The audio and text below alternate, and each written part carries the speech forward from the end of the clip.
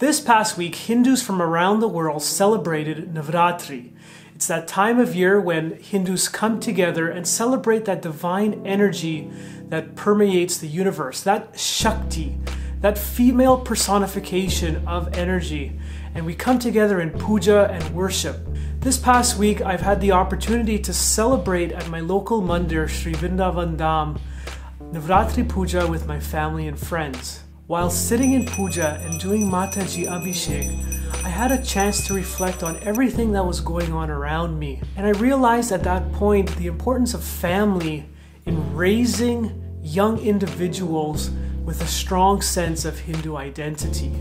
As I looked towards my brother in law, my sister, my brother, my wife, my mother and father, my mother in law and father in law, and all of our extended family, I realized that it was this community of individuals that helped shape my personality. On Facebook, on Twitter, on social media, I've had the opportunity to actually read many stories of individuals when growing up they remember quite fondly sitting on their grandparents' lap, listening to stories of the Ramayana and how these type of memories actually help shape who they are. Without question, the two people that had a major influence on my life growing up were my mom and dad. Through them, I was able to be raised in a Hindu community with a strong sense of purpose and identity.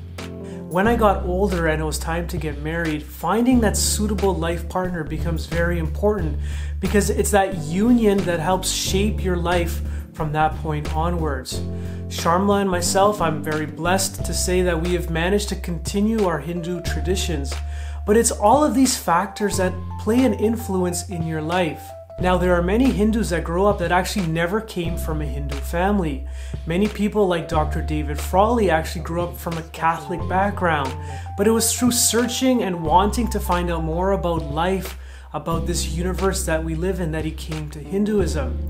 And this is where I also believe that not only family plays a role in bringing together that Hindu identity, but a sense of community.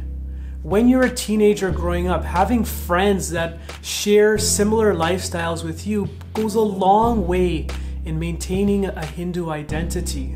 I know for myself growing up, having friends at the temple was very important because it's those friends that you form lifelong relationships with.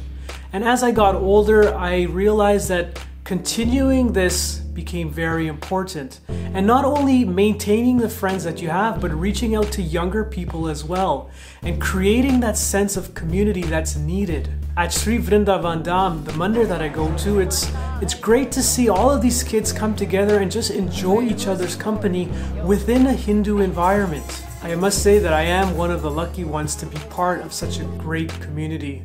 And to everyone that has been part of my life that has shaped who I am, my sincere thank you to all of you. Thank you again for tuning in. If you like this video, please give me a thumbs up, share it with your family and friends, and if you haven't already done so, please subscribe to my channel.